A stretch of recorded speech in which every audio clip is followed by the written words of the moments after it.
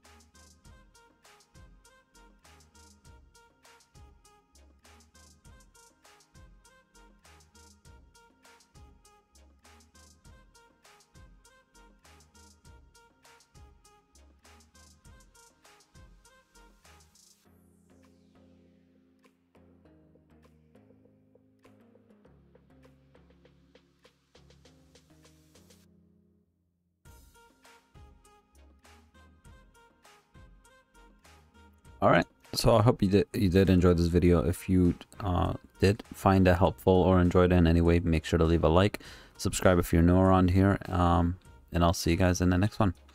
Bye